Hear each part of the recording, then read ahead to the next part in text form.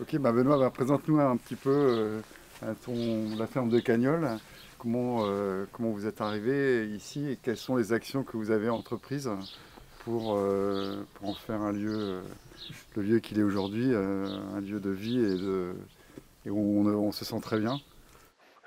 Euh, bah, les, premières actions, ça a été vraiment de restaurer euh, le bâti. du coup, euh, bah, tous les bâtiments étaient un petit peu à l'abandon. Du coup, on a vraiment passé beaucoup de temps à essayer de restaurer le patrimoine un petit peu avec les, matériaux locaux et de manière entre guillemets esthétique. Et, en parallèle, on a planté beaucoup d'arbres parce qu'on savait que c'était long à, pousser. Du coup, bah, là, on participe à restaurer entre guillemets euh, le capital naturel, à planter des arbres et à faire en sorte que, ces terres qui, étaient peu fertiles commencent à, à prendre une autre direction.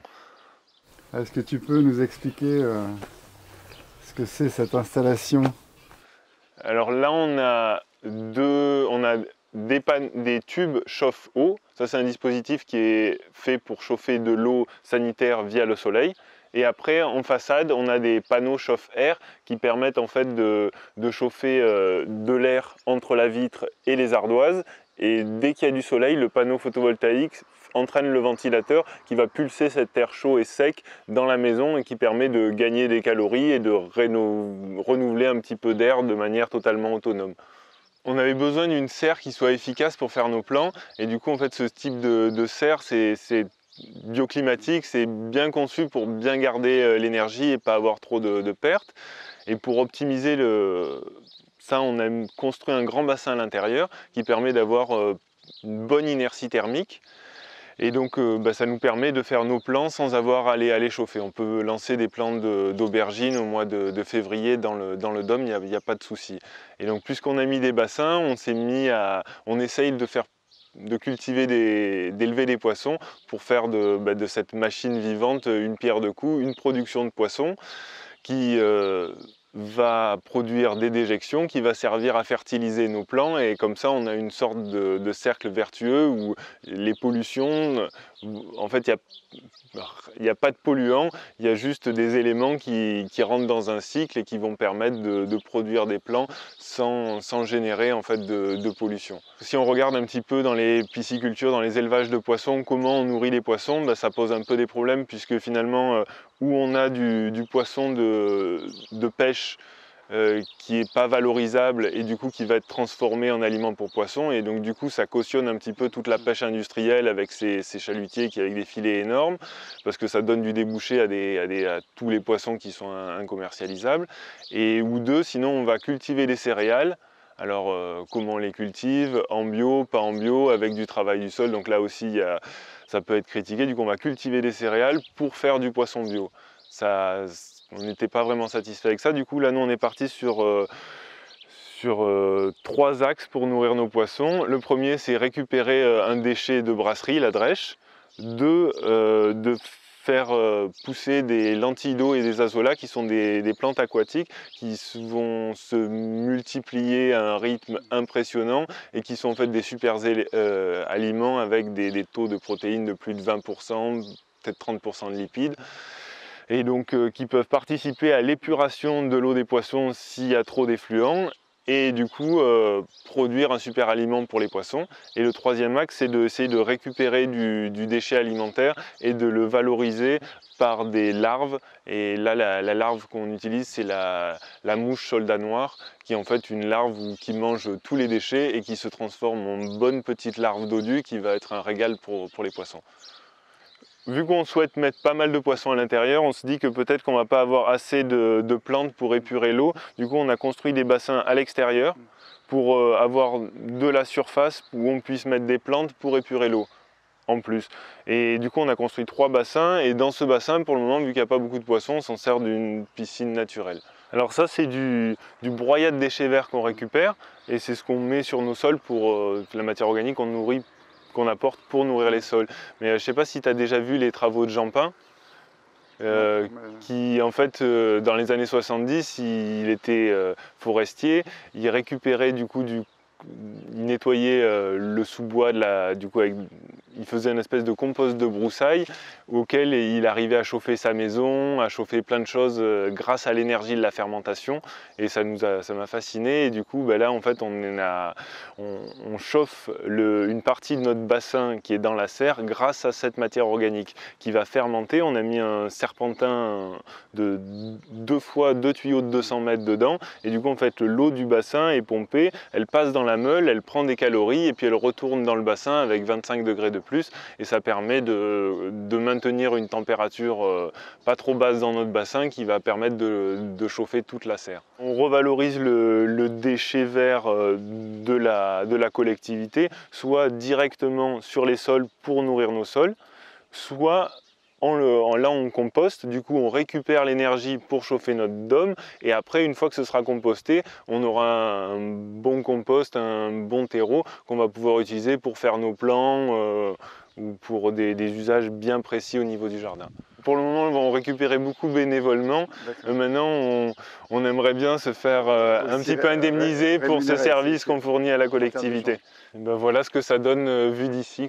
En fait, on a dû faire, on a fait toutes ces caves parce que on a fait le bassin extérieur qui permet en fait de, en fait, le bassin intérieur est tellement euh, haut, il fait presque 4 mètres de, profondeur, du coup on est venu euh, construire des murs de, de reforme pour, pour tenir en fait la, poussée, la poussée du bassin et du coup bah, c'est de fil en aiguille où euh, les contraintes du chantier ont fait qu'on est arrivé à ça. Quoi.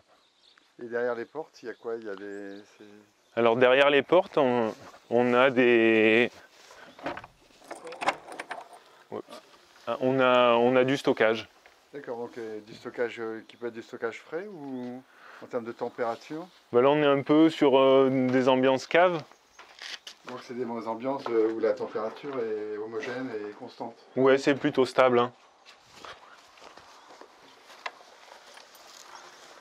Donc, du coup, ça va, ça va nous permettre de pouvoir stocker peut-être des tomates ici, euh, des pommes là, des courges à côté, des pommes de terre après.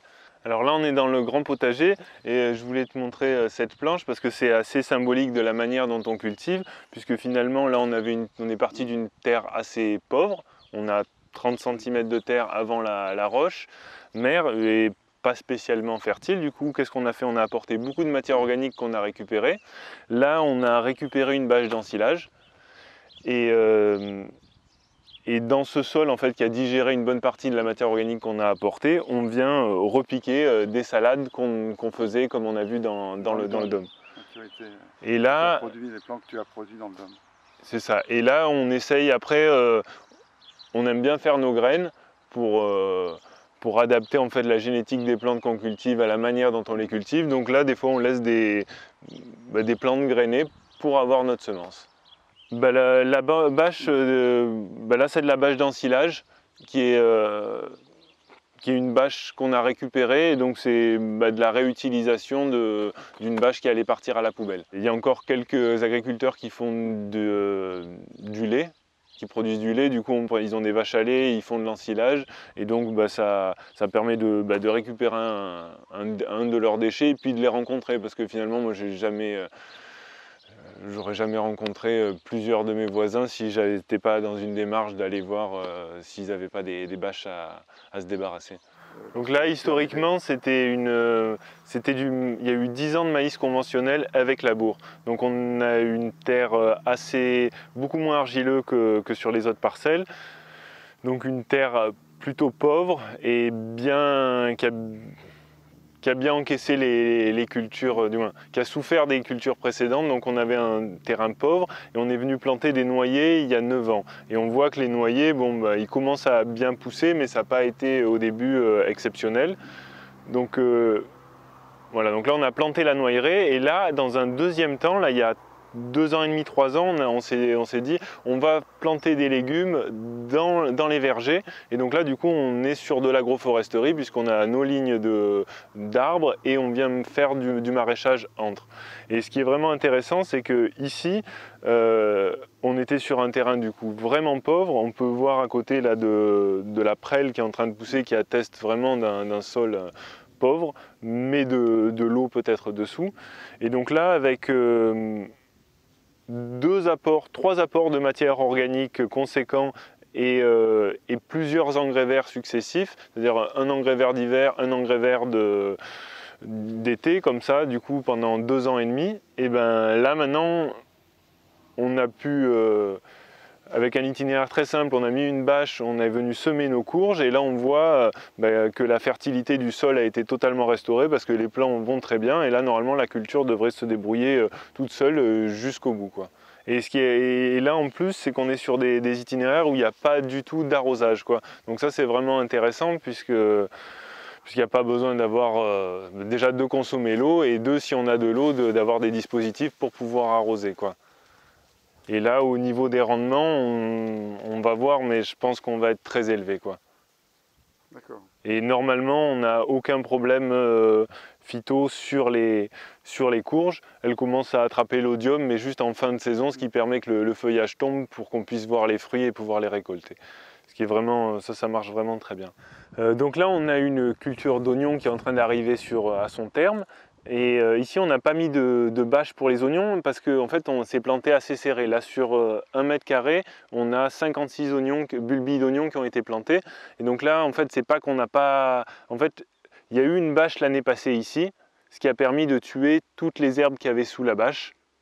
Et sur la bâche, on a fait une culture de, pastèques. Donc, euh, quand on a ramassé nos pastèques, après, on a pu enlever la bâche. On a pu mettre nos oignons sur un terrain qui était euh, exempt de toute euh, herbe. Et après, on est venu rajouter de la matière organique pour éviter qu'il y ait euh, d'autres graines qui se mettent à germer. Et comme ça, on a eu une planche d'oignon assez propre avec très peu de désherbage. Alors là, si on regarde un bilan humique comme ça, avec tant de matière organique très carbonée, on devrait avoir un manque d'azote, une fin d'azote. Pourtant, nous, on voit, là, il n'y a pas eu de, fin d'azote sur la, sur la culture. Du coup, ce qu'on en déduit, nous, c'est que la fin d'azote, elle se fait peut-être dans le mulch, mais pas dans le sol, parce qu'on n'incorpore pas le mulch dans les sols. Donc, il faut regarder un peu le, sol euh, comme un profil en coupe. Et deux, après, bah, toute cette matière organique, elle va être mangée par de l'activité biologique et c'est les sécrétions de cette activité biologique euh, qui vont permettre de nourrir euh, les plantes qu'on cultive et en l'occurrence les oignons. Et c'est comme ça qu'on explique en fait le, fait qu'il n'y ait pas de a pas de fin d'azote parce que on peut constater qu'il n'y a pas eu de fin d'azote sur cette culture. Conservatoire parce que la plupart des, variétés qu'on cultive, ça vient du conservatoire végétal d'Aquitaine. Du coup là on a un petit rôle de préservation de la biodiversité cultivée, des arbres, de nos vieilles variétés de, pommes, de pêches, de poires. Euh, et, donc là aussi, bah, du coup, dans ce verger, on vient faire de l'agroforesterie, c'est-à-dire bah, cultiver des légumes sous les arbres. Et donc là, bah, pareil, toujours avec des techniques de préservation du sol, euh, pas de travail du sol, euh, couverture permanente. Là, on a une bâche pour gérer un petit peu l'enherbement. Et puis après, on, a mis dans, dans, ce verger, on est venu, on a installé une centaine de nichoirs qui permettent euh, bah, de, favoriser. Là, celui-là, c'est pour des, des, mésanges à tête bleue qui vont. Euh, dans la littérature, ce qui se dit, c'est qu'un couple de mésanges à tête bleue, ça peut manger jusqu'à 2600 carpocaps par jour. Donc, du coup, bah, ça, c'est des techniques mises en place pour essayer de. Euh, réguler entre guillemets les potentiels ravageurs du, verger. Quoi. des auxiliaires. Et dans, et dans cette démarche de, de, favoriser les auxiliaires, on a mis entre les arbres fruitiers des arbustes qui permettent de créer une biodiversité euh, végétale qui va, pareil, accueillir auxiliaires et, euh, insectes. Bah, le but, c'était vraiment de pouvoir produire des légumes sur une partie plus grande de l'année et, euh, d'avoir des légumes plus tôt, plus tard. Et ça, c'est vraiment, vraiment indispensable pour pouvoir avoir des clients en vente directe, etc. Après, on a essayé de... Et c'est là où c'est intéressant parce que du coup, euh, d'une culture plus ou moins idéale comme on aurait pu le voir euh, à l'extérieur où tout est beau, etc. Là, on est sous une serre plastique avec du plastique au sol et, c'est nécessaire pour nous et pourtant et on fait attention et c'est intéressant de voir un petit peu les compromis qu'on doit faire pour pouvoir euh, bah, vivre quoi. Vivre et aussi satisfaire les besoins locaux. C'est ça. Alors ça c'est une vieille race de, chèvres, c'est des chèvres des Pyrénées. Et donc bah, on a tout un petit bout de forêt qui était envahi par les ronces et du coup on a pris ces chèvres pour, euh, pour entretenir un petit peu la forêt. Ça permet de préserver la race et puis de temps en temps on fait un petit peu de, fromage avec, le, avec leur lait au printemps pendant quelques mois. Voilà, donc ça s'intègre un petit peu dans la vie de la ferme, mais il n'y a aucune, aucune exploitation économique du, troupeau. C'est dans l'équilibre d'ensemble. Et le poulailler? Eh ben, Le poulailler, c'était un petit peu dans la même démarche. Du coup, on avait... Euh, euh, on a acheté des poules des Landes, et du coup, ben, on leur a construit un petit poulailler pour qu'elles puissent... Euh, vivre tranquillement. L'intérêt de la poule, c'était que c'est des poules assez euh, agiles et du coup, elles, en fait, elles vont se mettre euh, tous les soirs, elles rentrent par le, par le bois qui est à la verticale et en fait, le, renard ne peut pas rentrer. Donc, on n'est pas obligé de, fermer le poulailler euh, toutes les, tous les soirs. Donc, on fait des poules très très autonomes.